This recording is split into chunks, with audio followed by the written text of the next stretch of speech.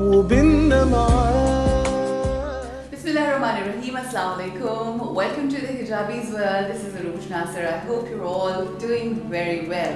Today I'm wearing this beautiful polka dots U style abaya. Why? Because it's got, uh, it doesn't have that embroidery uh, here the way we have it on Athena abaya. This is more or less Athena style but it's not it doesn't have that embroidery instead we have these beautiful pearly you know these um, uh, buttons.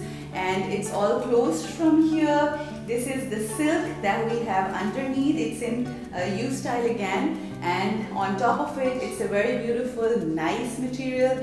Uh, we can have it uh, in in plain chiffon as well. But right now we are giving this uh, polka dot.